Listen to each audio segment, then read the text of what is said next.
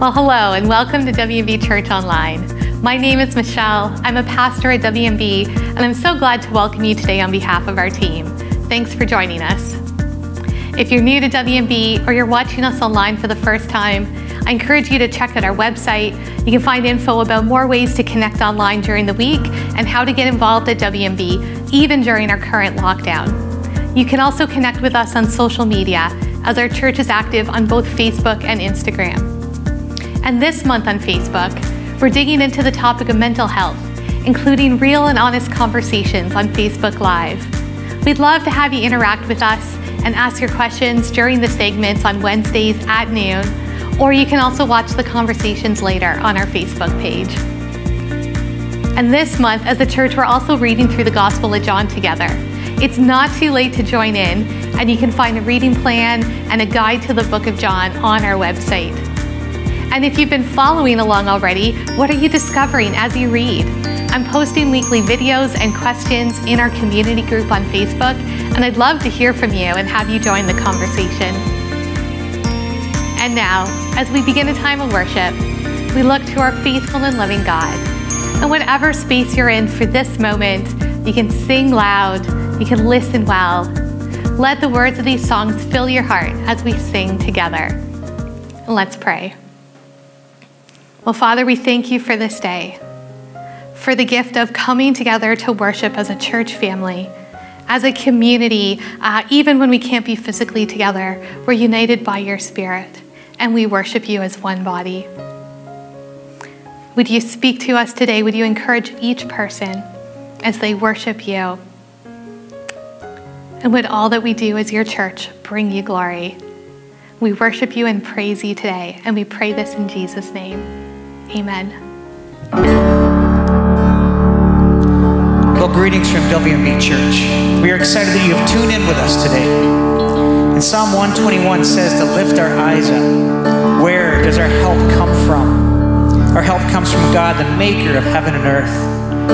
We will have a chance to sing a song towards the end of the service. But now we want to unite our hearts as we focus on God's blessings even in tough times, there are still blessings.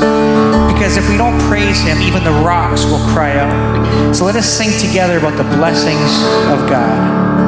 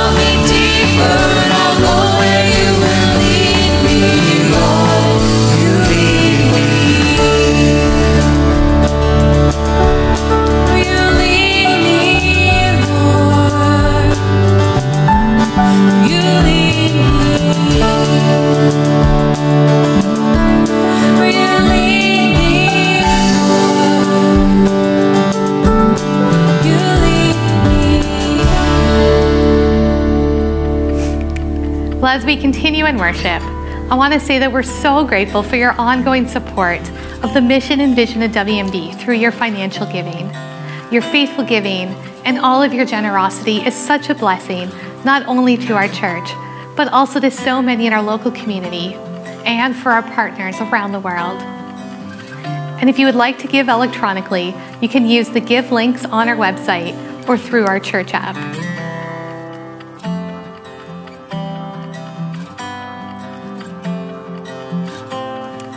Now, before our message begins, I'm excited to share that at the end of our service, we have a special video of a recent baptism at WMB. During lockdown, our baptisms are being done privately at our Waterloo site uh, to be in line with the current safety regulations for COVID 19. But we're excited to share these significant moments with our church family as a part of our online services. And now I'd like to introduce Pastor Sean as we continue in our series from the book of John, All In. So get comfortable, have something ready to take some notes, and let's hear from God's word together.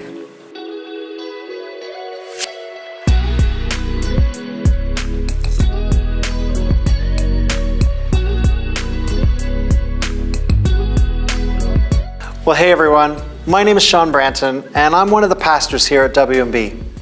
And I'm so glad that you're joining us today for this second message in our series called All In, where we take a look at some individuals in the book of John who encountered Jesus and became all in followers of him. There's this funny little word in the English language that can have a whole world of possible meanings. The word is second.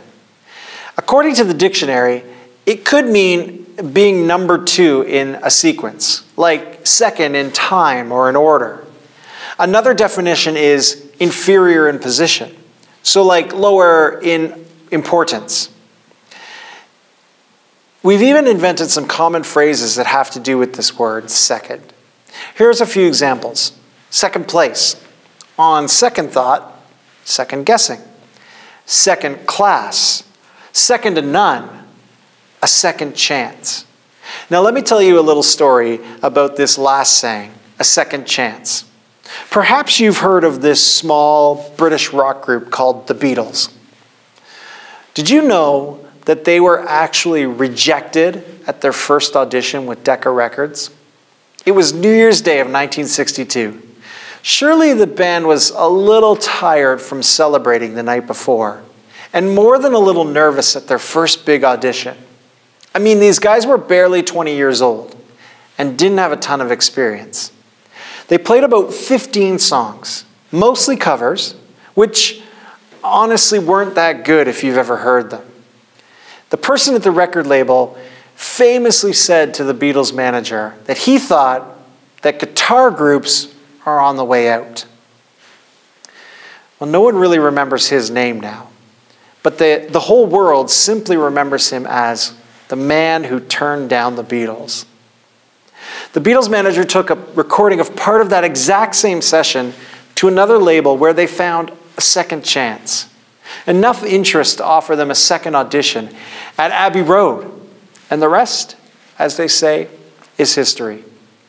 So today, we'll encounter someone who very much needed a second chance and got much more than that when he encountered Jesus. Last week, Pastor Adam kicked off our series, and I hope that you've started reading through the book of John with us together as a church. Sometimes, when you're reading through Scripture, it's a good idea to be reading with the end in mind. John certainly wrote his gospel with a specific intention. He writes near the end of the book Jesus performed many other signs in the presence of his disciples, which are not recorded in this book. But these are written that you may believe that Jesus is the Messiah, the Son of God, and that by believing, you may have life in his name. Now that's worth repeating, isn't it? So that you can believe in Jesus and have life.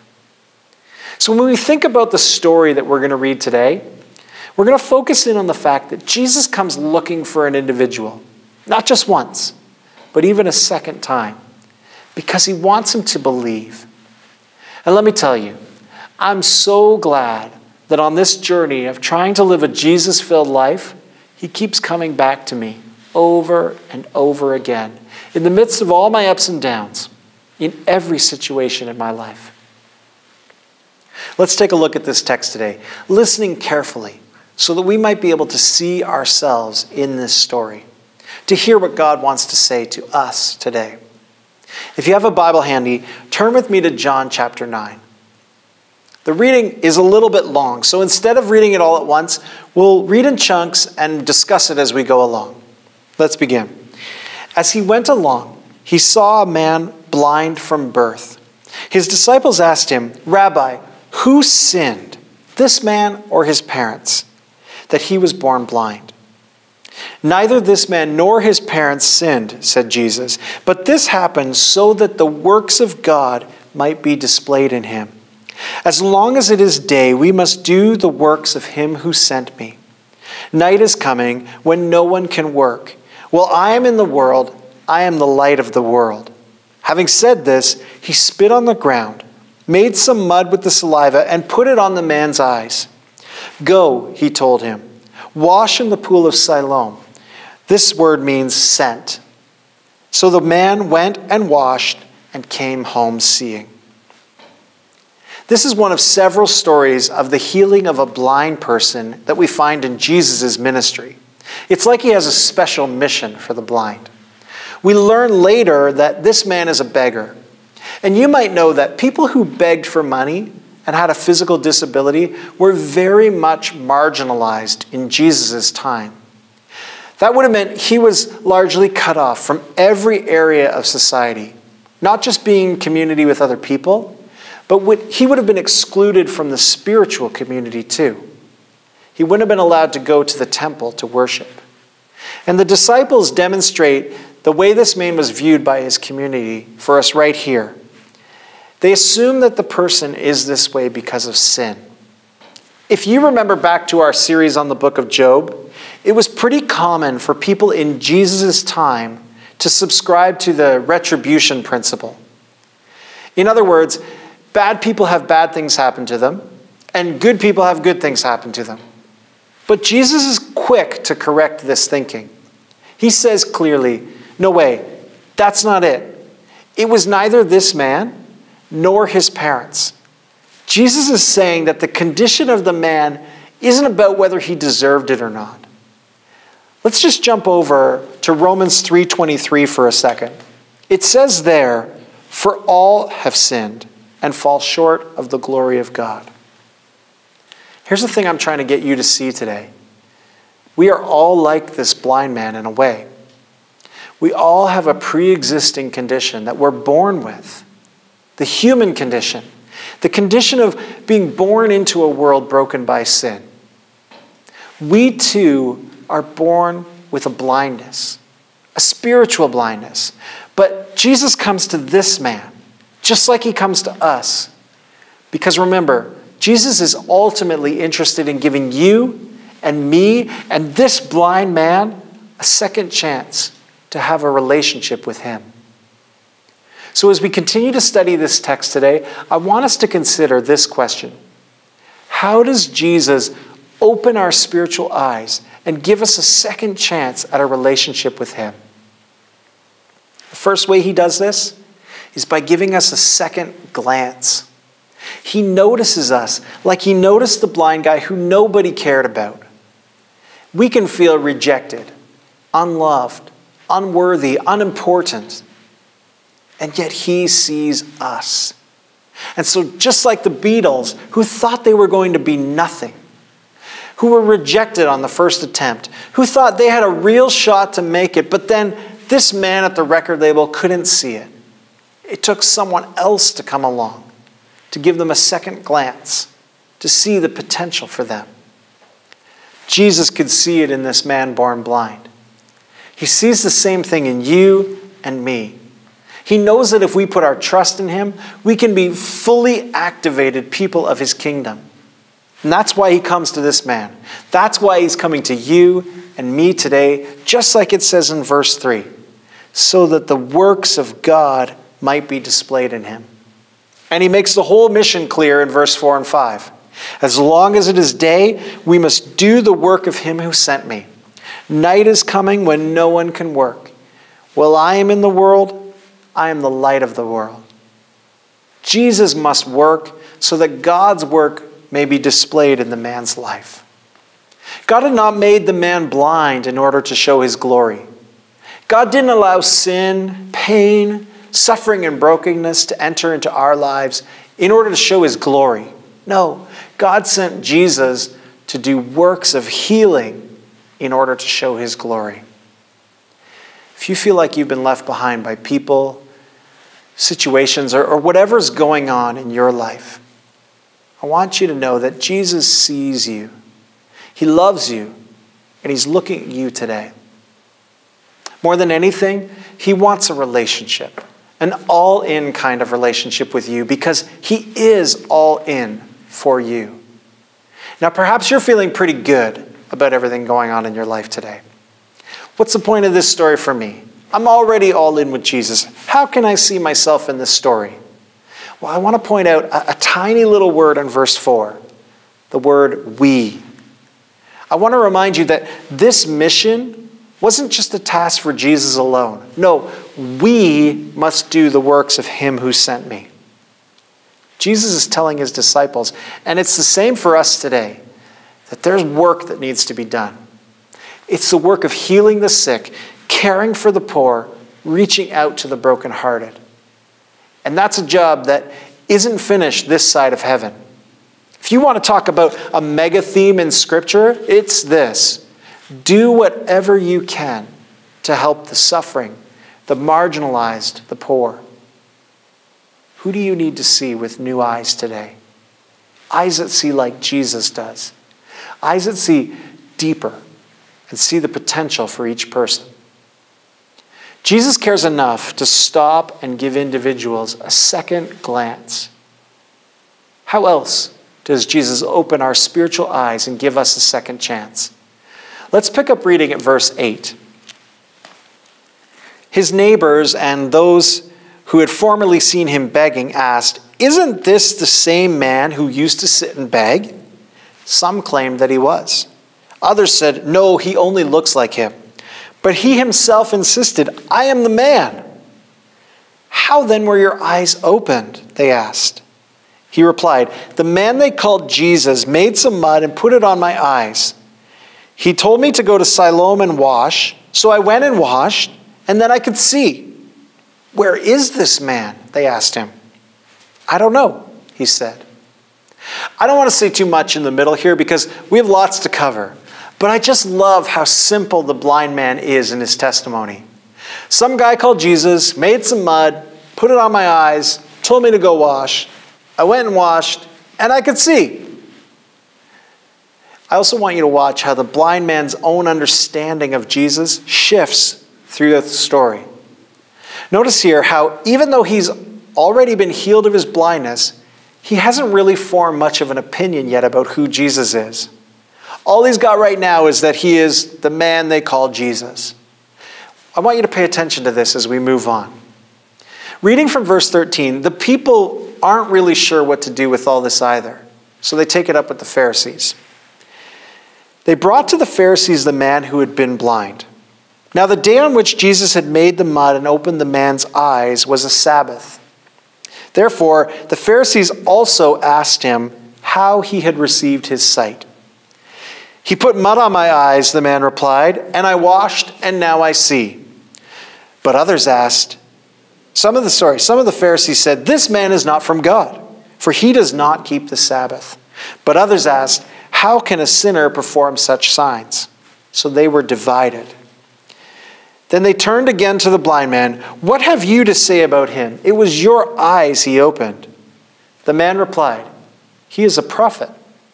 Okay, the blind man has made a pretty significant leap here. He's gone from the man they call Jesus to he is a prophet. A prophet in those days would be recognized as someone who God spoke to and someone who speaks to the people for God.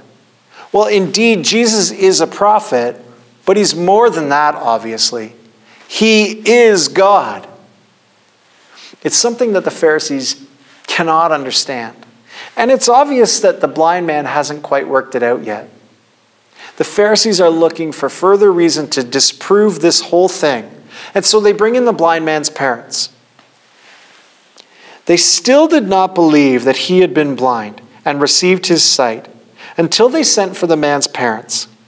Is this your son? They asked. Is this the one you say was born blind? How is it that now he can see? We know he is our son, the parents answered. And we know he was born blind.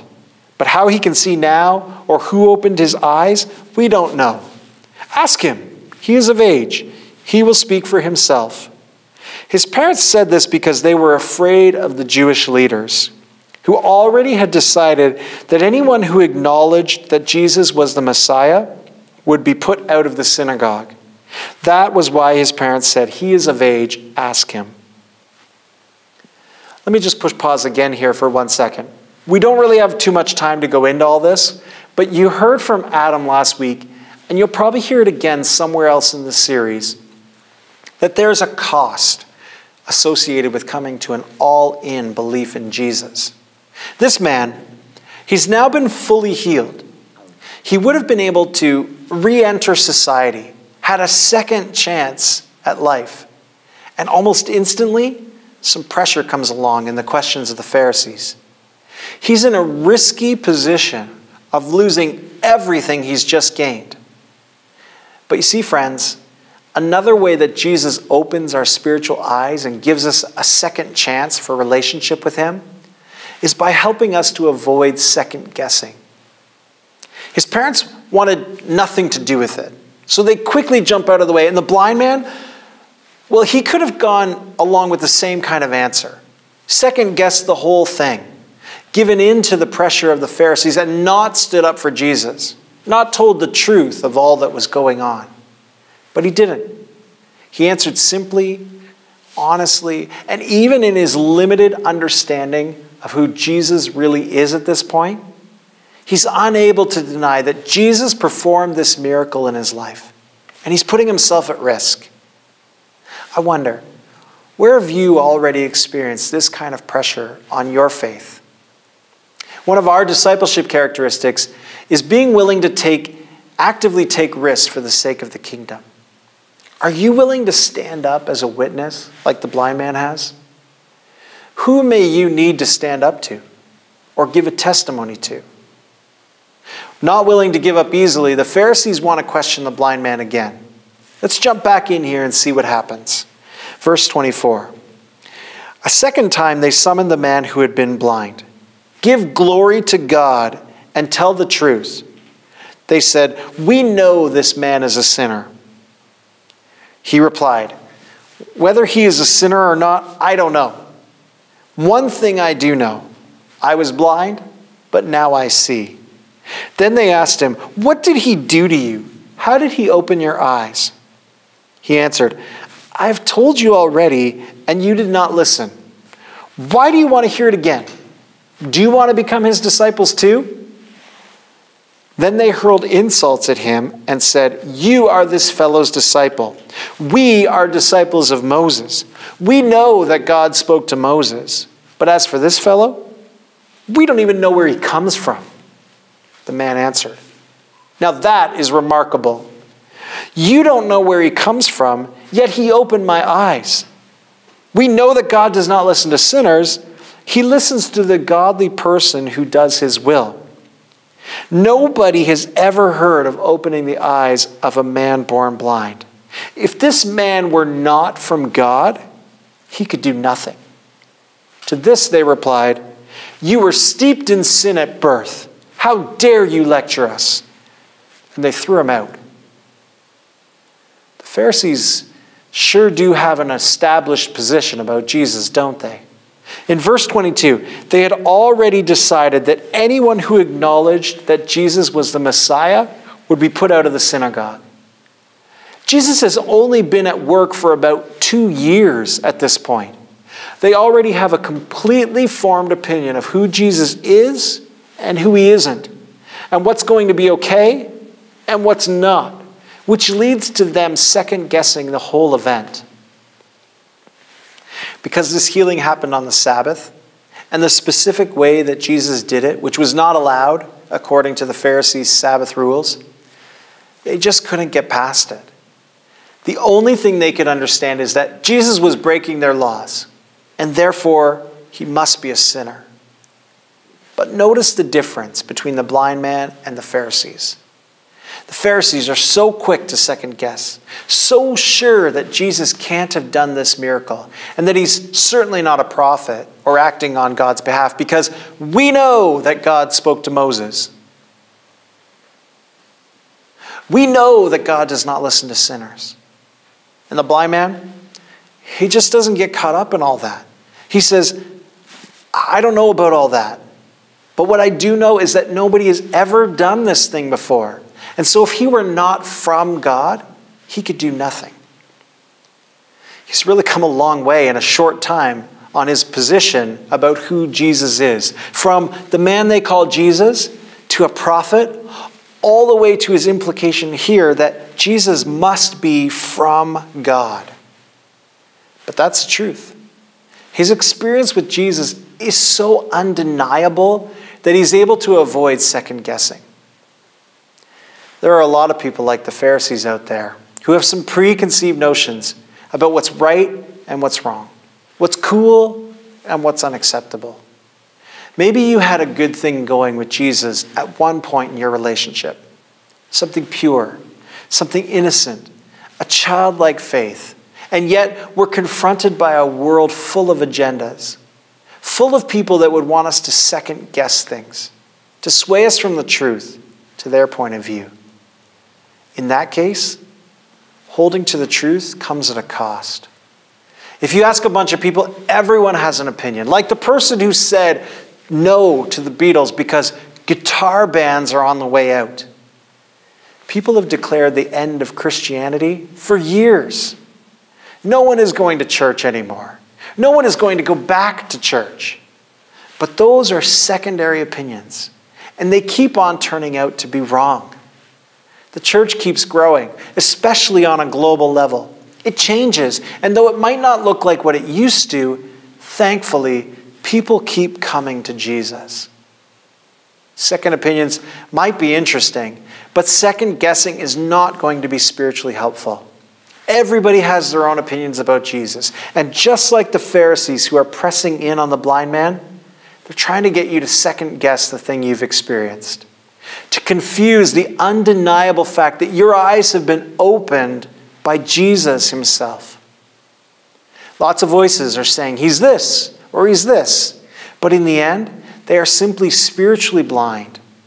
The Jesus they preach has nothing to do with the Jesus that is made clear to us by Scripture.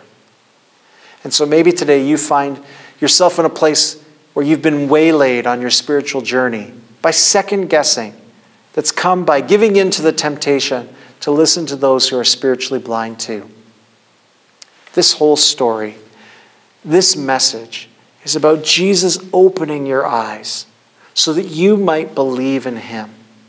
Jesus comes along and he's willing to break through barriers, searching for you so that he can give you a second chance at a relationship with him. Will you allow him to break through the noise that might be surrounding you? Will you fight your way through the voices of fear, the voices of preconception and opinion to come to the source of your healing today?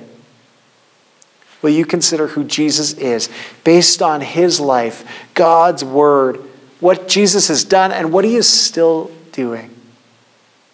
Again, if you've already made an all in commitment to Jesus, would you ask him to search your heart for ways in which you've grown maybe a little too close to the place of the Pharisees and run back to him with a simple faith, like the blind man who says, I don't know about all that, but what I do know is I was blind and now I see.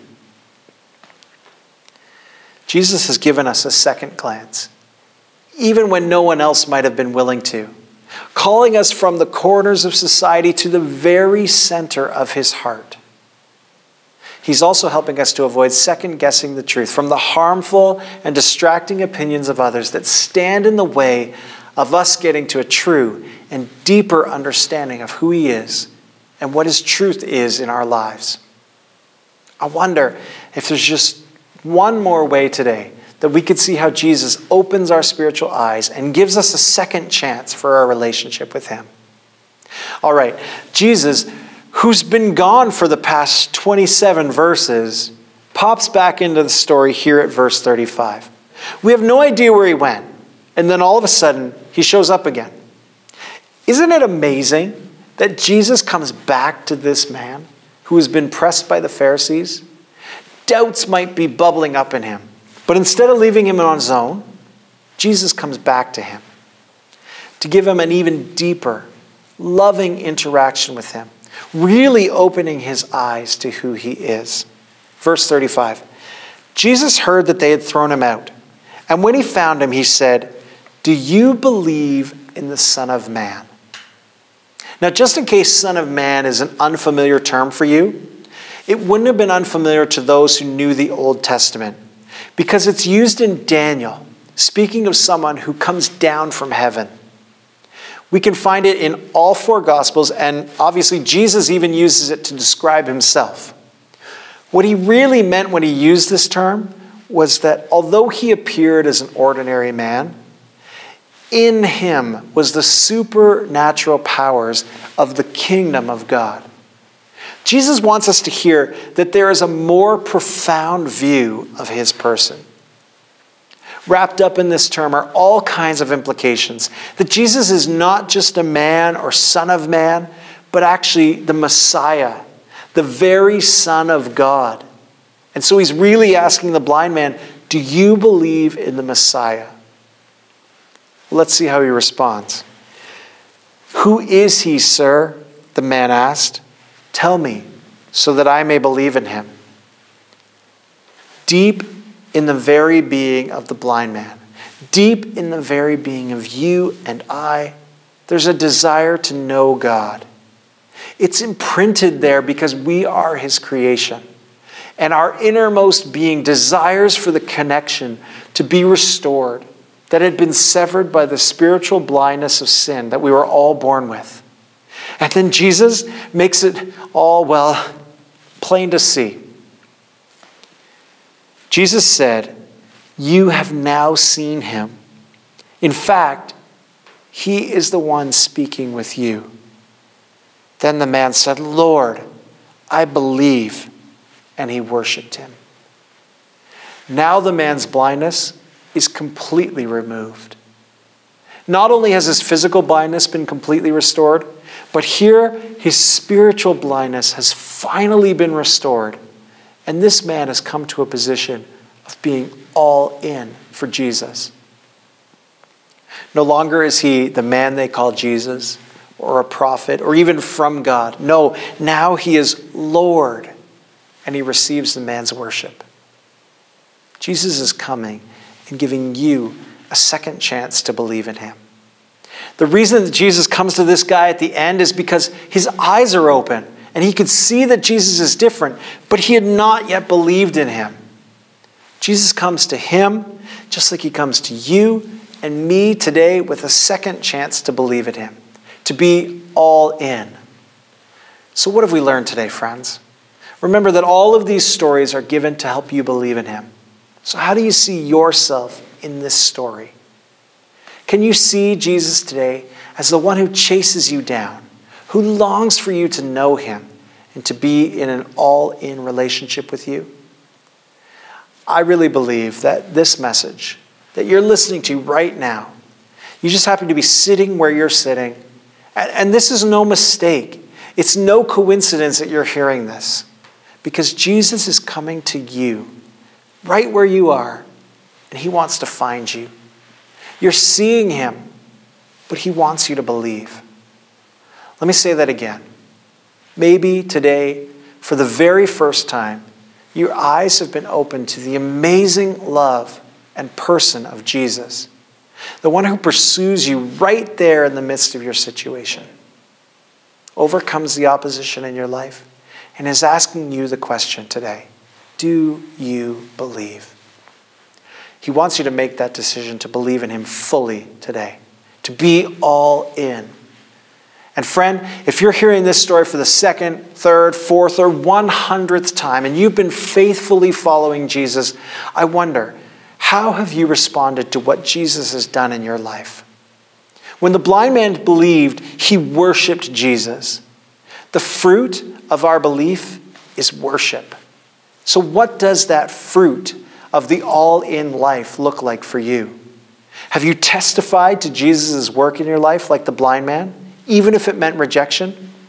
How are you joining Jesus in the works that he's calling his disciples to do, to be light in this dark world? You may not see yourself as anything special, You might feel like the equivalent of a few kids banging the drums in a garage in Liverpool. But Jesus sees potential for you. He wants you on his team. First and foremost, Jesus' mission is to gather all people to him and restore them in relationship. He wants to sign you to an eternal record deal because he knows that in doing that, we will make sweet, sweet music together. Friends, he can and he will do amazing things in your life. My prayer for you is that you would turn all of these things that Jesus has done for you back around. That you would give Jesus a second glance. That you would stop second guessing his good intentions to love you and to heal you in every way. And that you would look at every single day beyond today as a second chance for an all in relationship in your life on the greatest adventure of following Jesus with your whole life. As we've looked at this story with fresh eyes today, I pray that you would hear it as though it was the first time. Jesus is knocking on the door of your heart, asking you once again if you believe in the Son of Man, the Messiah, Jesus, the Son of God. As you ask the blind man's question again today, who is he? Show me so that I may believe in him. I pray that you would hear his voice whispering in your ear. You have now seen him. In fact, he is the one speaking with you. And that you would acknowledge, Lord, I believe, and that you would worship him both in your heart today and in the way you decide to go all in, to follow him with your whole life, fully devoted. Let's pray. Father, we thank you that you come after us, not even once, but a second time, all our lives, chasing us down in the midst of every situation that we face, longing for us to believe in you and to worship you with our whole lives. Lord, would we hear with fresh ears and see with fresh eyes again today that you are Jesus, the Messiah, the Son of God, and you want to restore us completely in every way and activate us as people of your kingdom. God, would we go in your name, healed, restored, and sent by you, Jesus, to be light in this world. That's my prayer for us today. I pray it in Jesus' name. Amen. Well, thank you, Sean, for leading us through the story of the man born blind and his experience with Jesus. As Sean asked, how do you see yourself in this story? I hope you're encouraged by the reminder of how Jesus pursues us and invites us into an all in relationship with him. And now, as I said earlier, we're excited to share with you a video of a recent baptism that was held in a small private service at our Waterloo site on April 17th. So let's hear now from one of our youngest disciples of what it means for her to be all in for Jesus. It is among the highest honor as a parent to introduce you to our daughter, Elliot Chain, and uh, to my dear friend, Emma, and one of Ellie's mentors. Go, go ahead, Ellie. Take my mask off. Yes.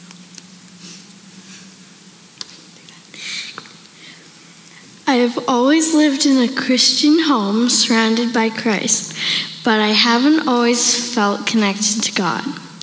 Before I knew Christ and before I committed my life to Jesus, I thought I had the most perfect life, and I didn't want any part of it, my life to change by letting Jesus into my life. Finally, one night when I was five, I was laying in my bed with my mom, and we prayed, and I accepted the Lord into my life. On April 5th this year, I was having a hard day. My best friend wasn't talk- talking to me, and I was feeling stuck at school. And that night, after my parents had left the room, I burst into tears. I was feeling alone, and I felt like all of my previous friendships have turned hadn't turned out and had faded away into nothing. As I was crying, I started to pray, but it wasn't my typical prayer. I was saying more than just words, and it meant more than just a prayer. It felt like a calling. After I said amen, shortly after I realized that God was trying to tell me something. So I ran to my parents' room and told them what had just happened.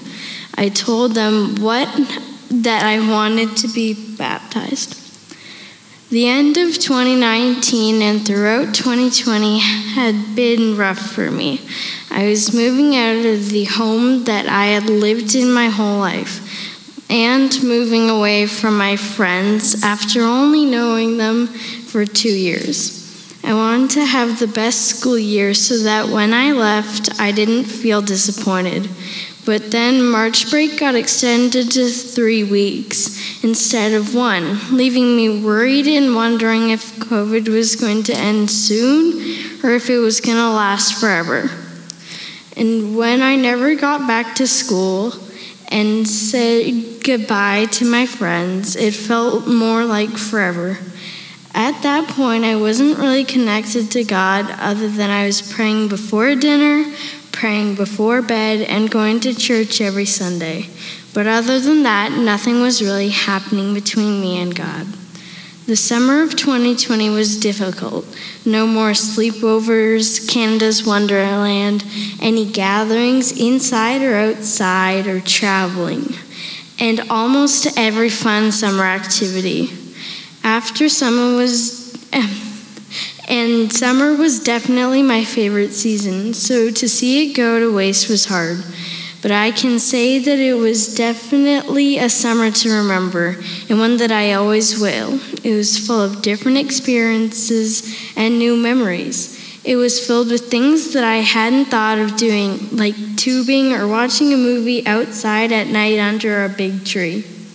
School had finally started. I was pretty nervous because I was starting at a brand new school, knowing absolutely no one and not being able to see anyone's faces. The first couple of weeks were hard, but I adjusted and learned. At this point, I was starting to realize that I really needed God, and I started praying for friends. And God under- answered that prayer. He invited people into my life so that I now have many friends and even stronger friendships with the people in my class than I did at my old school. God answers prayer. He can do all things, and He cares about me. I started to read the Psalms at, as, as my winter days got longer. As I was reading Psalm 4, I noticed a verse that stood out to me Psalm 4, verse 4 to 5. Don't sin by letting anger control you. Think about it overnight and remain silent. This verse stood out to me because at the time I was often angry, and I and as I read it, it didn't feel like I was just reading the Bible. It felt like God was reading the verse to me directly. I have started to think who God really is in each of our lives and what He can and has done for people. He's done miracles, saved lives, worked through and with people. He has calmed storms and flooded lands. He has given eyes to see and ears to hear, and He will do it all again. I decided to get baptized because I felt when I prayed to God, He was telling me that I was ready. I'm ready to obey Jesus in baptism and follow Him all of my days.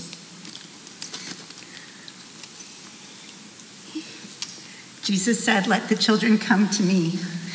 And indeed, you're ready. So, Elliot, put your hands up here. Do you believe that Jesus lived, died, and rose again to save you from your sins and give you life eternal with him? Yes. And do you choose to follow him all of your days as Lord of your life? Yes. Upon the confession of your faith, my dear girl, we baptize you in the name of the Father, the Son, and the Holy Spirit.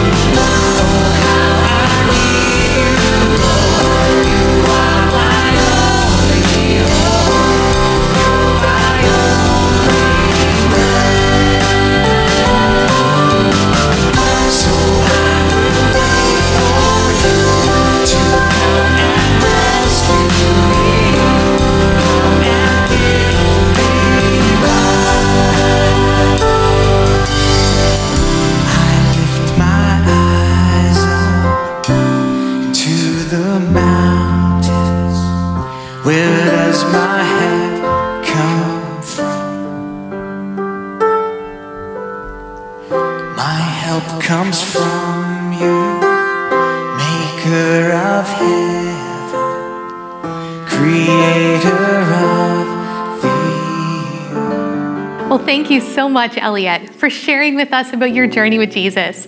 We're so glad that you're a part of our church family. And thank you all for joining us for worship and teaching. And don't go away. If you're watching our Sunday morning live premiere, we'd love to see you in our virtual foyer now. This is a great place to connect with others, for casual conversation, or to meet privately with someone for prayer. And if you're watching this during the week, check out our church website for more ways to connect or how to receive prayer. Thank you so much for spending this time with us. We hope to see you again soon, and blessings to you this week.